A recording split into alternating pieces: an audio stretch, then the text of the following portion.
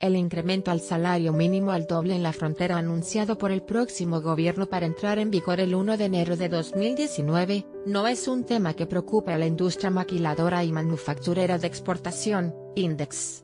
No tenemos ninguna preocupación al respecto. Hoy en día toda nuestra industria de exportación paga más de dos salarios mínimos desde hace muchos años. Tiene programas de incentivos, de bonos de productividad que sumados a sus salarios, como una remuneración total genera fácilmente esta percepción diaria sin ningún problema, dijo Luis Aguirre Lang, presidente del Consejo Nacional de Index quien dijo que el sector tiene más de 3 millones de trabajadores. Este sector, aseguró, es el que mejor remunera a los trabajadores en el sector manufacturero nacional, ya que hoy paga 30% más que el promedio que el sector manufacturero no exportador. En entrevista con el Heraldo de Chihuahua, refirió además que la reducción del ISRA al 20% y del IVA al 8%, a partir del 1 de enero del 2019, como propone el presidente electo Andrés Manuel López Obrador, es una buena oportunidad.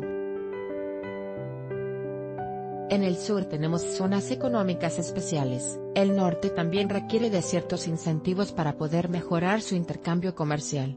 Me han parecido planteamientos importantes, viables, retadores para poder impulsar. El enfoque es generar mayor dinamismo y competitividad en la región franja fronteriza que le permita al sector comercio, servicios, tener un desarrollo y contribución económica como la que hoy en día genera la industria de la manufactura en la región.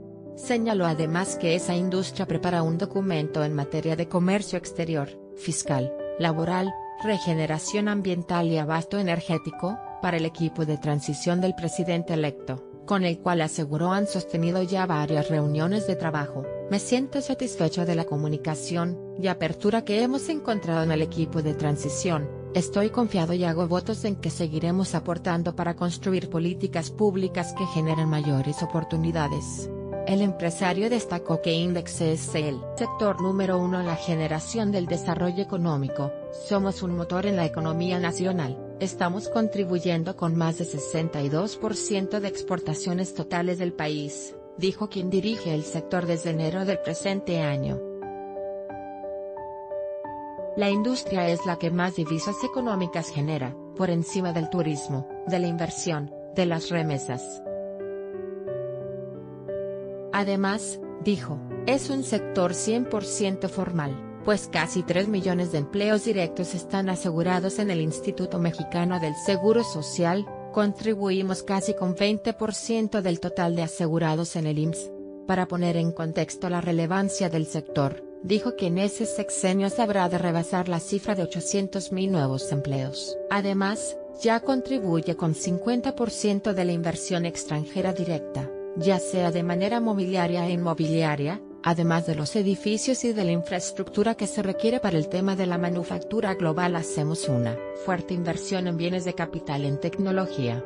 Estamos sirviendo y atendiendo al mercado de consumo mundial, dijo, pues nuestra dinámica es muy alta, y cada año tenemos que estar haciendo revisiones y mejorando nuestro marco regulatorio.